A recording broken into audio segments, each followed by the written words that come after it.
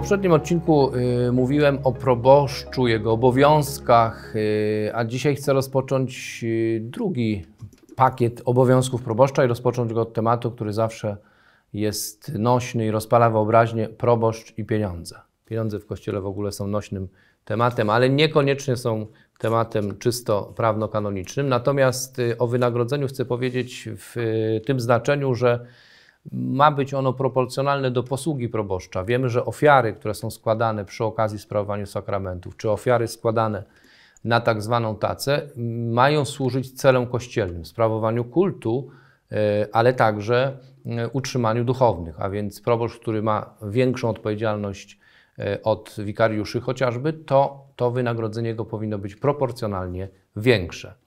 Czy ma dowolność w gospodarowaniu środkami pieniężnymi, środkami materialnymi, majątkiem parafialnym?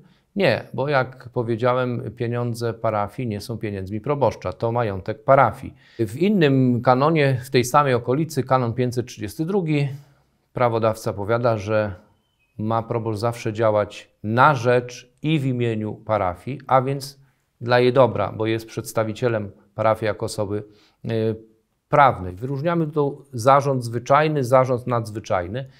Zarząd zwyczajny to bieżące życie, y, tak jak każdego domu, każdej rodziny, tak i parafii. Trzeba płacić rachunki, y, trzeba opłacać ogrzewanie, prąd, wodę, trzeba utrzymać kościół, porządek i to wszystko, co się z tym wiąże. A zarząd nadzwyczajny to chociażby alienacja, czyli zbywanie majątku.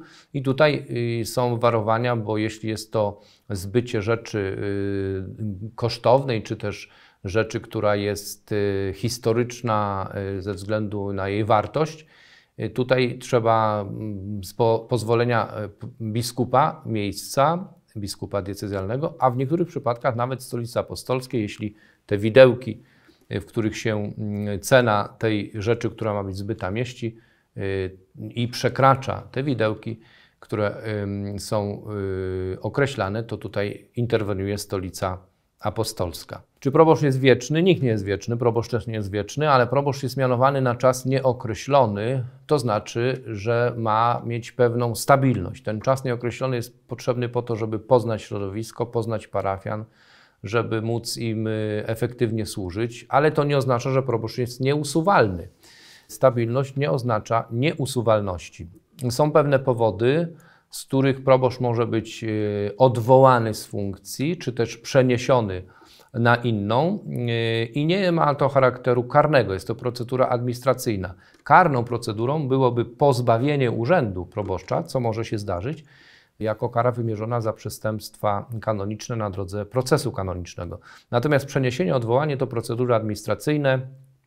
Prawodawca znowu mówi tutaj, że są pewne przyczyny, nie są to przyczyny wyliczone y, taksatywnie, wyczerpująco, ale między innymi takie y, przyczyny jak postępowanie proboszcza, które przynosi wspólnocie kościelnej poważną szkodę lub zamieszanie, czyli na przykład prowadzenie parafii w taki sposób, że E, jest e, w niej bardzo dużo podziałów, że jest zamieszanie, zamęt. Inna przyczyna choroba fizyczna czy umysłowa, która może uniemożliwić proboszczowi wypełnianie zadań.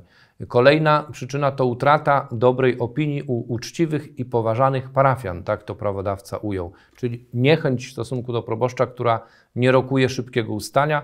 Wreszcie zaniedbanie czy naruszenie obowiązków parafialnych, które mimo upomnienia nie mija i tutaj chociażby właśnie y, zaniedbywanie obowiązku sprawowania mszy świętej za parafian, które byłoby obowiązkiem zaniedbywanym notorycznie.